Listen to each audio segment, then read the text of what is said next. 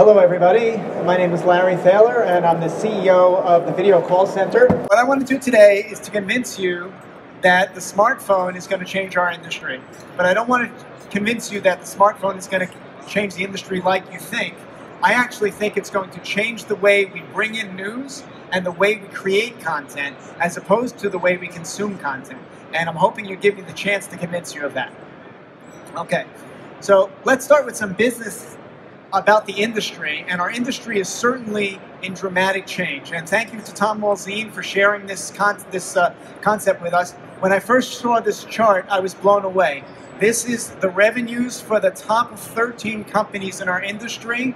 Um, and if you notice enormous consolidation at the top, that is that shouldn't be a surprise to you. And what's really interesting here is poor Disney is in fifth place. Netflix is at the very right. It's only a dot, drop in the bucket. And you look on the left, and who are the players here? It's AT&T and Verizon. And you would say, well, they're telecom companies. They're not media companies. But the truth of the matter is, they are media companies. Um, AT&T bought DirecTV, and they're in the delivery business. Verizon has FiOS, and so they're they're more than just the telco players. They're actually expanding. AT&T has talked about announcing buying Time Warner, and you can see what that does to the chart.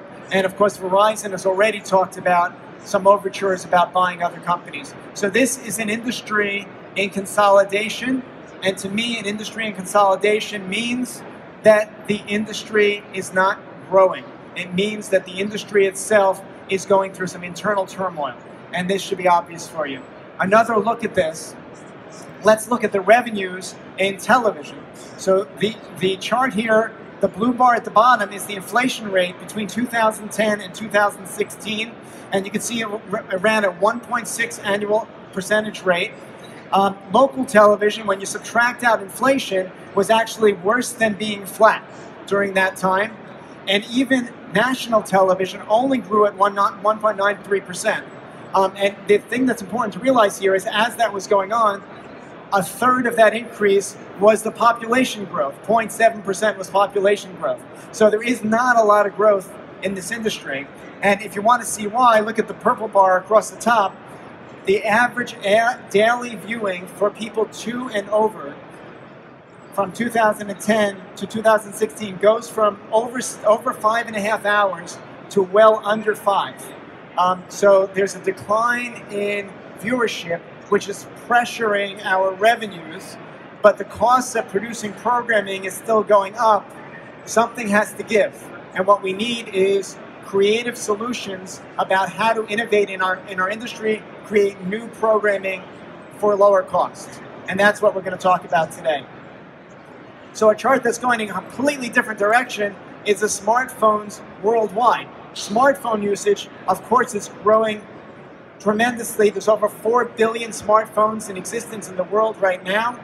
Um, a lot of them are here in the United States, but you can see how the blue bar there, which is Asia, and the yellow bar down at the bottom, which is Middle East, are the areas of growth coming up. According to Ericsson, we'll have 6 billion smartphones by 2020. A big number of smartphones. And so most of us think about the smartphone as a device we need to deliver content to. Um, everybody's talking about TV anywhere, the ability to be able to watch what you want, when you watch it, how do we serve millennials? And the interesting thing here is if you look at these charts on the left, TV viewing are the bars on the left, the smartphone viewing is all the way those bars in the middle of the screen, so the, the 55 and the 67. And we see that smartphone usage and viewing is growing, but off of a very, very small base when you compare it to television viewing. And you do see that television viewing year over year, 15, 16 to 15, is actually going down. Uh, so, so it's important to know that smartphones are being used for content adoption, but there's also a way we can co-opt them. And going back to our charts about the smartphone, these are the subscriptions worldwide. And the green bar is LTE, and I want you to focus on LTE because LTE is the first level of delivery of a cell phone that can actually give you good live video quality.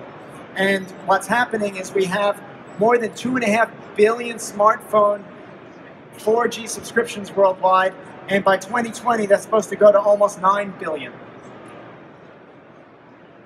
The other thing that's happening is 5G is coming, and it's really debatable about when it will actually be rolled out. But the, the real question is how are we preparing for it? So look at the bandwidth for 4G.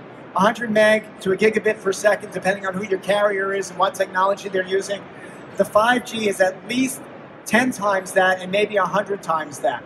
So the smartphone is being connected at a greater rate in the future than it is now, and maybe just a couple of years in the future. So let's talk a little bit about smartphones as ENG devices. Well, a smartphone has a camera, of course. It has a microphone. It has a video screen. But it also has things that your satellite truck and your LiveU unit doesn't have. It's got a return video signal. It has return audio. It'll give you GPS location. It has an IP connection and you can give it a live tally. All of these things are really simple. But let's com- and, and, and as a result of all of this capability, all sorts of services are popping up to allow the smartphone being to be used as citizen news gathering. So examples are uh, Fresco's uh, deal with Fox News to deliver content for their TV stations group, um, or, or one of these other services. They're all trying to tap the citizen journalist. But let's take a more deep comparison. So if we look at satellite trucks, Satellite trucks are wonderful. We've used them for years. They're very, very valuable and very important. But think about their very high cost. The connectivity to get to a satellite and to get it on site is very long. Think about the fact that the latency is very long and that there's a huge investment in technical people on the remote side. Okay, but you say, okay, we have LiveU units. LiveU units are better on the capital investment, but they still have long lead, long latency times if you're trying to have a two-way conversation. If any of you have experienced the reporter in the field shaking his head up and down, waiting for the question to answer in his ear, we call those the yada yada yadas, right? You notice that that LiveU isn't really capable of having a two-way conversation. But the smartphone can work at really low latency. The smartphone can be 100 milliseconds or less it has almost zero cost.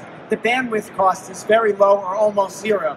There's no capital investment. The users, every user in the world knows how to use their smartphone, and most people know how to point the picture at themselves because they've been busy taking selfies for the last three years. On top of that, there's a two-way return video feed that's low latency so you can create conversations across the planet between correspondents in different places between your host in your studio and the people in the field. And most available, most importantly, it's available on demand where you need it. You don't have to send a crew. So some some ideas here. If we were used, if we're going to use the uh, mobile phone in the traditional way, we would take the place of a satellite truck or a LiveU unit and send it out to a scheduled event. Reporters, politicians, uh, a fire scene, we might send it out to, and that's all well and good. And but we have really good tools for that today. There are booked book viewers, book callers. We might be able to book up a line with them, um, but with a with a cell phone, we can get these folks in their cars, in their hotel rooms, and we at the video call center actually brought somebody in from her rehab clinic last week. Try getting her crew into a rehab clinic. I challenge anybody to do that. Right? She found the Wi-Fi hotspot. She took her phone out, and she's on the air. It was that easy. And then you just take this and you say, okay, if we make this open to anybody who wants to call in, these can now be my viewers expressing their opinions live on the air, asking my experts their questions that they have, interacting with other viewers, interacting with musicians all over the world. These, this is what we're doing, and these viewers can be anywhere, of course. So mobile phones can absolutely change the game for the type of television our industry can create. But it's not easy. It's hard. And a lot of people who have tried to do this have failed. People who try to use Skype tell me there's a 40% failure rate on those phone calls, right? We need tools. And some of the issues are quality control, handling the volume of calls. How do I filter all these people who are coming in? I'm being overwhelmed with them. How do I handle editorial control so only the people I want are on the air at one time? What do we do about identifying people once they get on the air? How do we know who they are? How do we communicate with them? You know, I use mix minus IFBs to communicate with my satellite truck remotes. Why can't I do that with my phone remotes as well? And there's this huge intermix of formats. How do we how do we pull that all together? So the challenges are huge. But what the video call center specifically does is we provide a toolkit to make all of those things happen. And I'm going to spend just a couple of minutes going through that toolkit for you. But what we are doing is we're connecting this infinite number or almost infinite number of smartphones that are accessible and give us options all over the world into your production where and when and how you need it while you're maintaining editorial control. And this is what our flow looks like. The red box are callers using applications wherever they are, applications already on their phone, nothing to download. They will join a show by clicking on the show's website or going to a hyperlink or clicking on something on a Facebook Live feed, and they will be prioritized in a queue. We think about this as a green room in the cloud and it's infinitely scalable and it allows us to prioritize all of the callers who may be calling in for this particular show. Once they're in that queue, they can be screened by a caller, a call screener from anywhere they are. Their framing can be adjusted, their lighting can be adjusted. They can take a photo of themselves. All of that is presented to the producer. The producer knows what questions they want to ask. They know their names. They know whether they've called in before. Lots of information help them prioritize who these people are. And then they're editorially screened by a real live human being. And that human being will help them to optimize their connection, make sure they're wearing clothing, um, and to make sure that their content is, is content that we want to use. One, until they're cleared by a screener, nobody on the production crew even knows they exist. You can't accidentally put them on the air. And then we can feed the screen calls either to a traditional control room or to a host control system with no control room at all. Effectively, we've exploded the control room, put control in charge of the host in charge of control.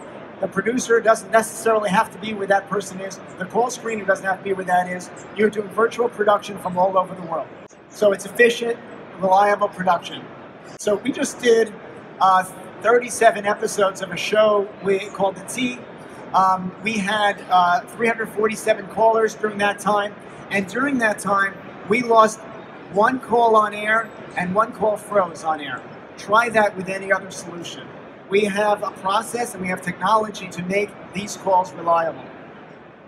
But you want safety, and so we have layered safety. The first thing is when a caller comes in, they're signing a legal document in the caller queue that we keep track of, which is your release. You have the right to use them on the air. They confirm that they're going to behave a certain way.